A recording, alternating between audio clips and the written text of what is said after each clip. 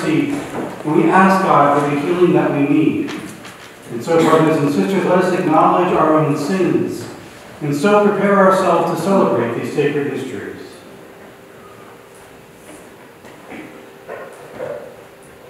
You were sent to heal the contrite of heart. Lord, have mercy. Lord, have mercy. You came to call all sinners. Christ, have mercy. Christ, have mercy. You plead for us at the right hand of the Father. Lord, have mercy. Lord, have mercy. May Almighty God have mercy on us, forgive us our sins, and bring us to everlasting life. Amen. Glory to God in the highest. And on earth peace to good will. We praise you, we bless you, we adore you, we glorify you. We give you thanks, your great Lord. Lord God, heavenly King, O God, Almighty Father. Lord Jesus Christ, only begotten Son. Lord God, Lamb of God, Son of God. You take away the sins of the world, have mercy on us. You take away the sins of the world, receive our prayer. You are seated at the right hand of the Father, have mercy on us. For you alone are the Holy One, you alone are the Lord, you alone are the Most High, Jesus Christ, with the Holy Spirit, in the glory of God the Father. Amen. Let us pray.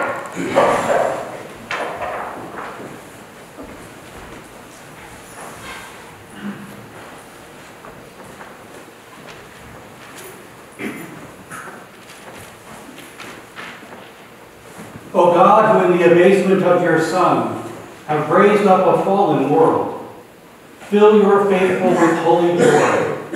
For on those you have rescued from slavery to sin, you bestow eternal gladness. Through our Lord Jesus Christ, your Son, who lives and reigns with you in the unity of the Holy Spirit, God forever and ever. Amen.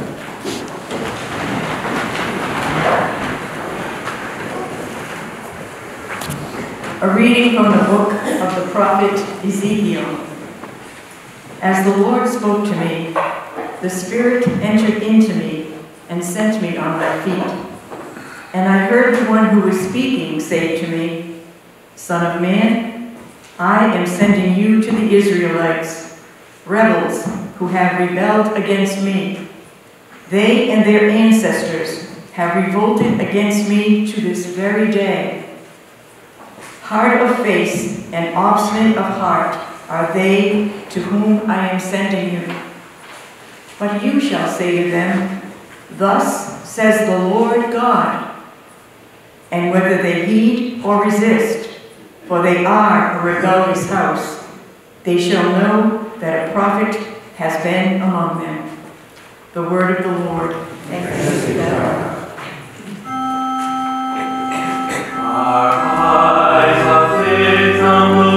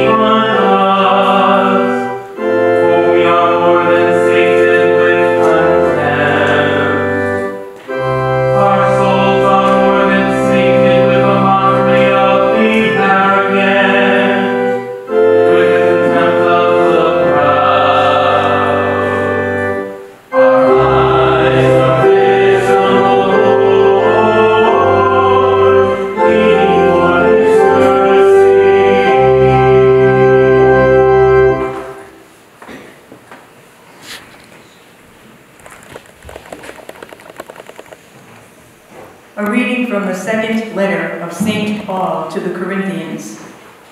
Brothers and sisters, that I, Paul, might not become too elated because of the abundance of the revelations, a thorn in the flesh was given to me, an angel of Satan, to beat me, to keep me from being too elated. Three times I begged the Lord about this, that it might leave me. But he said to me, My grace is sufficient for you, for power is made perfect in weakness. I will rather boast most gladly of my weaknesses, in order that the power of Christ may dwell with me. Therefore, I am content with weaknesses, insults, hardships, persecutions, and constraints for the sake of Christ. For when I am weak, then I am strong. The word of the Lord.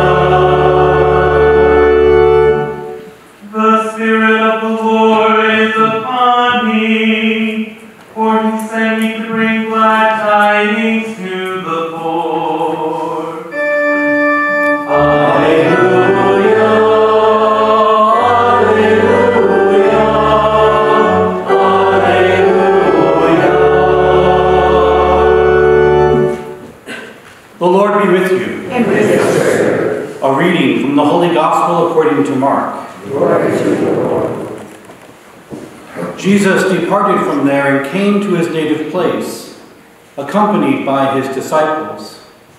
When the Sabbath came, he began to teach in the synagogue, and many who heard him were astonished. They said, Where did this man get all this? What kind of wisdom has been given him? What mighty deeds are wrought by his hands? Is he not the carpenter, the son of Mary, and the brother of James and Joseph and Judas and Simon? Are not his sisters here with us? And they took offense at him. Jesus said to them, A prophet is not without honor except in his native place, and among his own kin, and in his own house. So he was not able to perform any mighty deed there, apart from curing a few sick people by laying his hands on them. He was amazed at their lack of faith. The Gospel of the Lord. Praise to you, Lord Jesus Christ.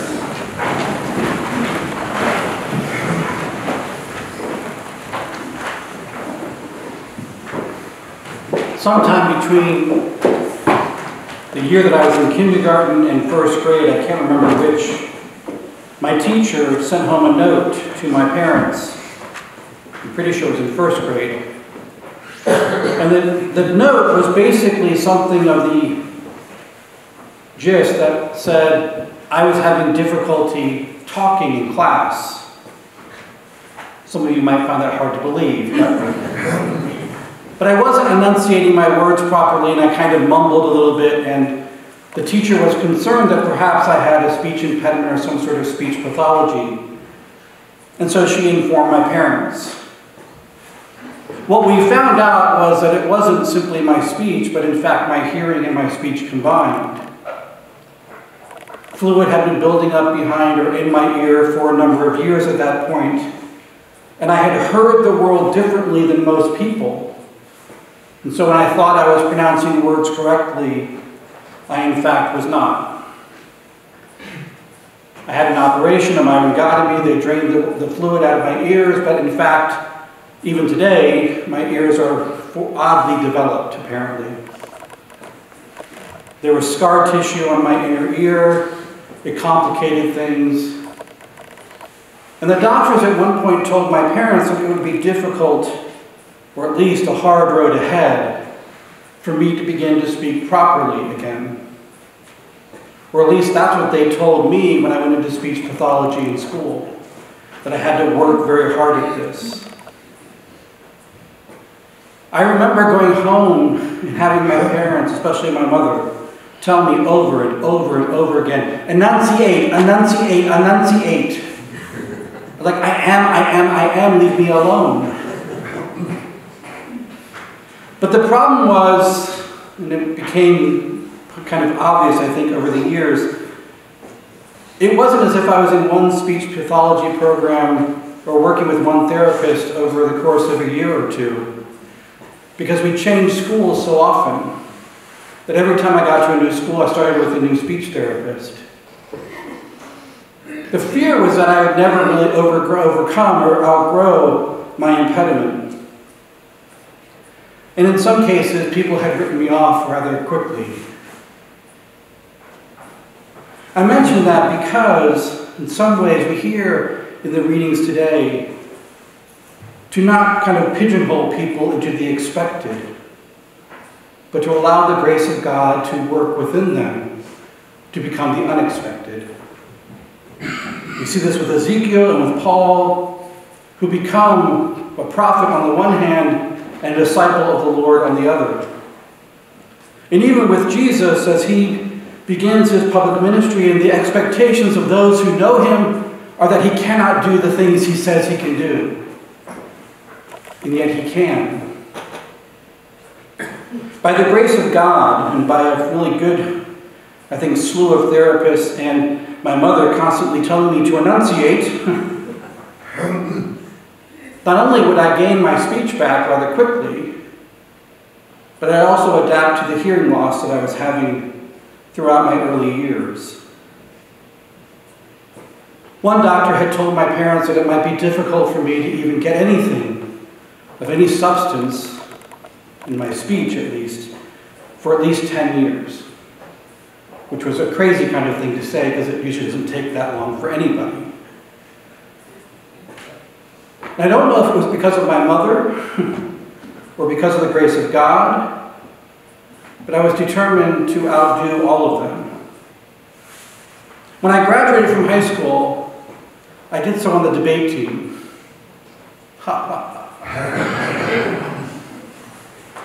and the, the kicker for me was that the only category that I competed in was extemporaneous speaking which, if you had known me as a child, would have been the last thing you'd imagine because my childhood was mostly silent. I was so self conscious about the way that I pronounced words that I decided not to speak for years. I mean, I spoke when spoken to, which Sister Kathy thinks is a good idea I should bring back. but I didn't speak that much. I retreated mostly into my books, into my reading, into the silence of my own head. But by the time I got to high school, something had switched on. I became the unexpected. If you had asked me when I was, say, six or seven when all this was going on, if I would one day become a preacher, in the order of preachers, I would have laughed at you. Because the last thing I expected then was to be able to speak in front of anybody. But God does things with us that we cannot anticipate. When we open ourselves up to the grace of God, we become the very things that God intends for us to be. Paul says it quite elaborately and eloquently that the very things that we think are weaknesses can become something different. He says, I am content with weaknesses, with insults and hardships, persecutions and constraints for the sake of Christ, for when I am weak, then I am strong. It's when we allow the weaknesses of our lives to, in fact, become moments of grace that God shows us where our real strengths lie.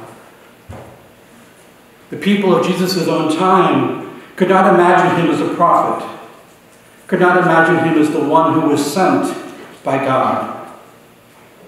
And yet, he would prove them wrong. Not simply by his own deeds, but by the grace of God working in and through him, by the Spirit of the Lord that was dwelling upon him. Even the gospel acclamation that we proclaim today reiterates that. The Spirit of the Lord is upon me, for he sent me to bring glad tidings to the poor. Each one of us in our own lives is sent to proclaim that message. That the Spirit of the Lord is upon each one of us to take us to the unexpected, to the unanticipated, and to become something more than we think we are. When I was in first grade, they told me I had difficulty speaking. By second grade, they told me it would take me a while or years to get over it. By the time I graduated from high school, I graduated as the valedictorian. I don't say that to boast or to pump up my own chest, but to say that anything is possible if we open ourselves up to the grace of God. What does God have in store for you today? Weaknesses that you think might kind of make you struggle throughout the rest of your lives? Because they are not weaknesses at all in the face of God. When I am weak, it is then that I am strong.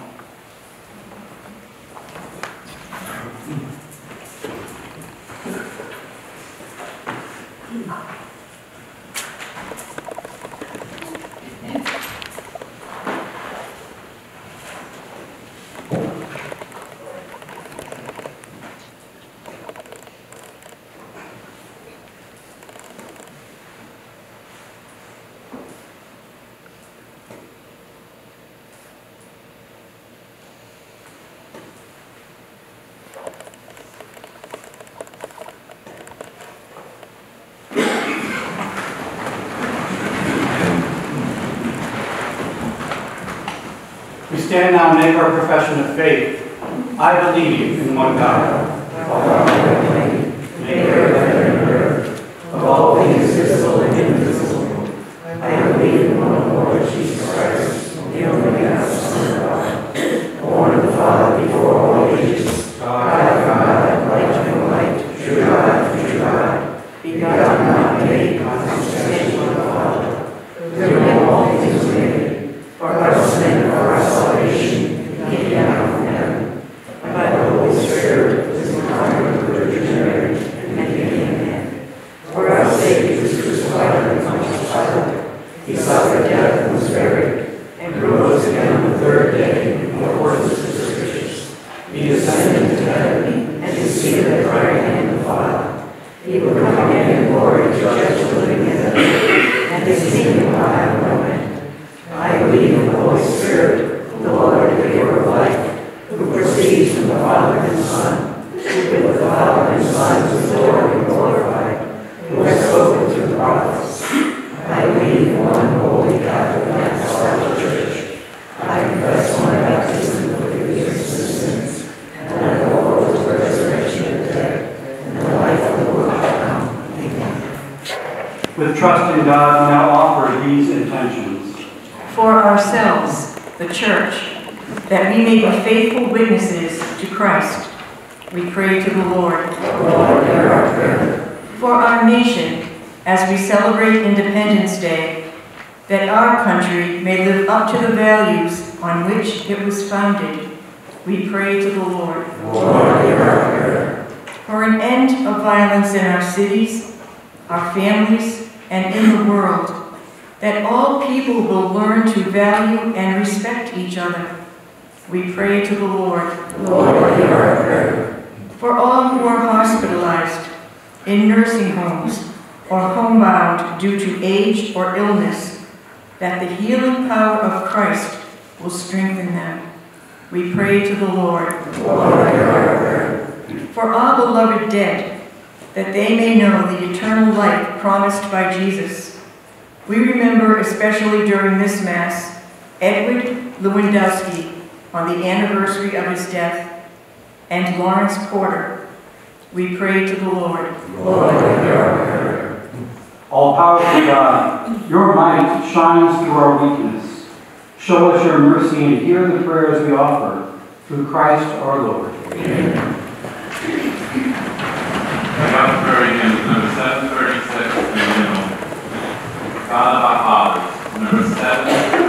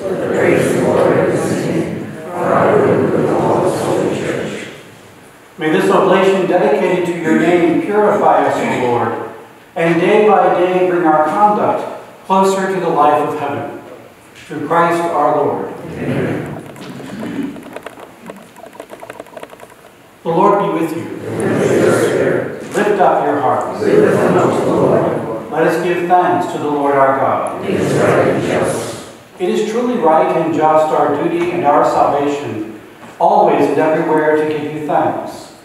Lord, Holy Father, Almighty and eternal God, through Christ our Lord. His death we celebrate in love. His resurrection we confess with living faith. And his coming in glory we await with unwavering hope. And so with all the angels and saints we praise you, as without end we acclaim.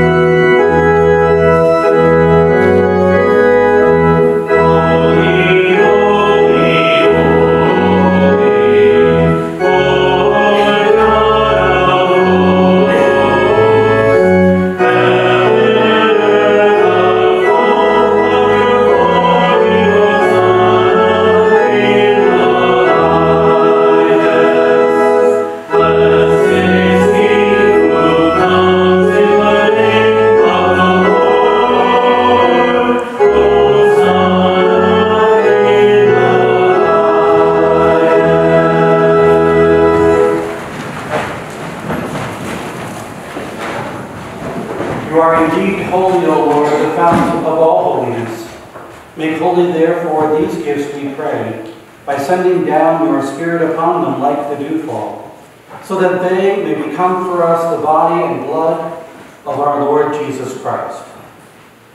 At the time he was betrayed and entered willingly into his passion, he took the bread and giving thanks broke it and gave it to his disciples, saying, Take this, all of you, and eat of it.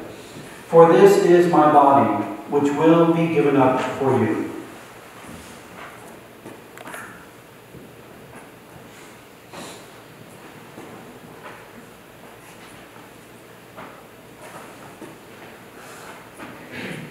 In a similar way, when supper was ended, he took the chalice, and once more giving thanks, he gave it to his disciples, saying, Take this, all of you, and drink from it, for this is the chalice of my blood, the blood of the new and eternal covenant, which will be poured out for you and for many, for the forgiveness of sins.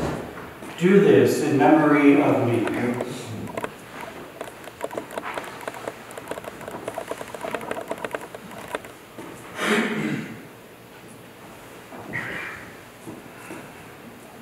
The mystery of faith.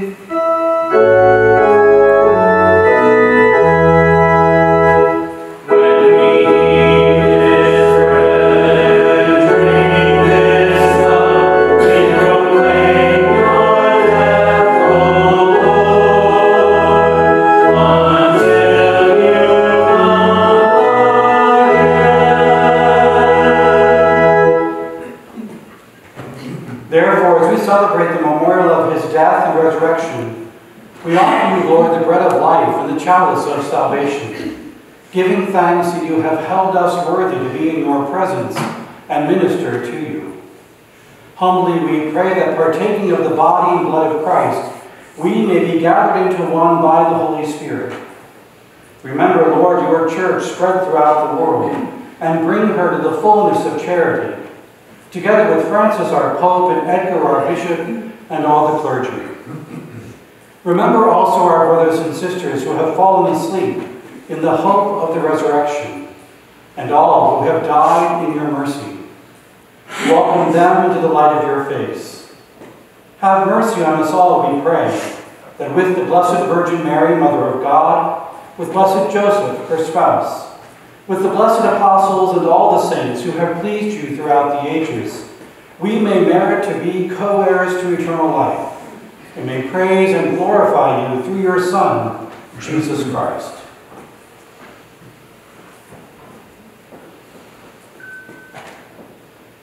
Through him and with him and in him, O God Almighty Father, in the unity of the Holy Spirit, all glory and honor is yours forever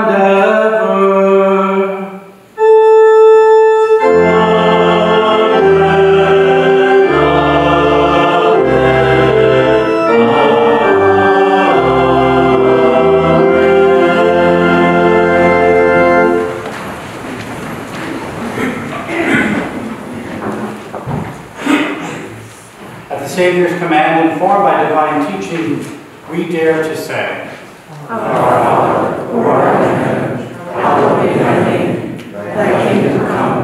Thy will be done. On earth as it is in heaven. Give us this day our daily bread. And forgive us our trespasses. As we forgive those who trespass against us. And lead us not into temptation. But deliver us from evil. Deliver us, Lord, we pray, from every evil. Graciously grant peace in our days, that by the help of your mercy we may be always free from sin and safe from all distress, as we await the blessed hope and the coming of our Savior, Jesus Christ. For the kingdom, the power, and the glory are yours now and forever. Lord Jesus Christ, you said to your apostles, Peace I leave you, my peace I give you. Look not on our sins, but on the faith of your church, and graciously grant her peace and unity in accordance with your will, who live and reign forever and ever. Amen. The peace of the Lord be with you always. Let us offer each other the sign of peace.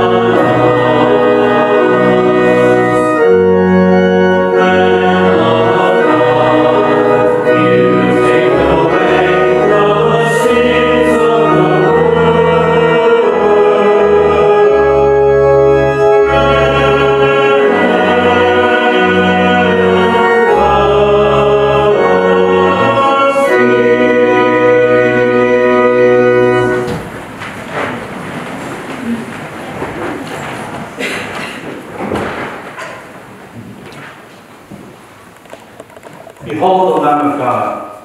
Behold him who takes away the sins of the world. Blessed are those called to the supper of the Lamb.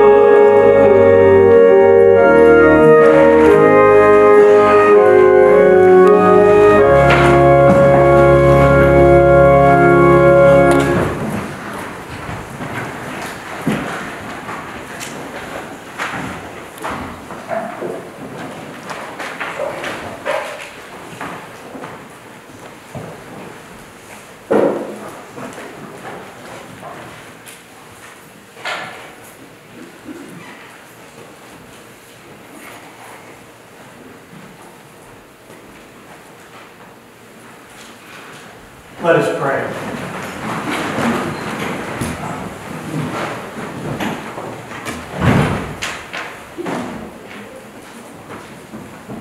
Grant, we pray, O Lord, that having been replenished by such great gifts, we may gain the prize of salvation and never cease to praise you. Through Christ our Lord. Amen. We do have a few announcements.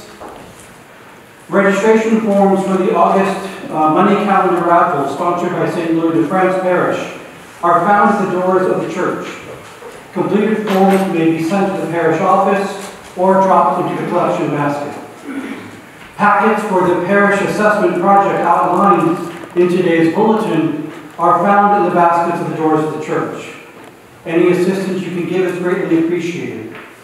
And on behalf of the entire parish, I almost said faculty, on the parish staff, it's a PC thing. Uh, we wanted to extend to all of you a happy Fourth of July. It looks like the rain may stop.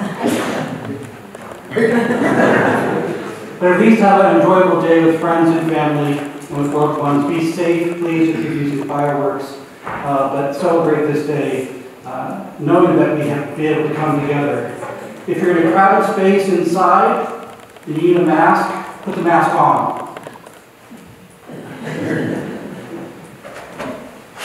He said, back and forth. The Lord be with you. May Almighty God bless you, the Father, the Son, and the Holy Spirit. Go in peace, glorifying the Lord by your lives. The reception hymn is number 735 in the hymnal. America the Beautiful, number 735 in the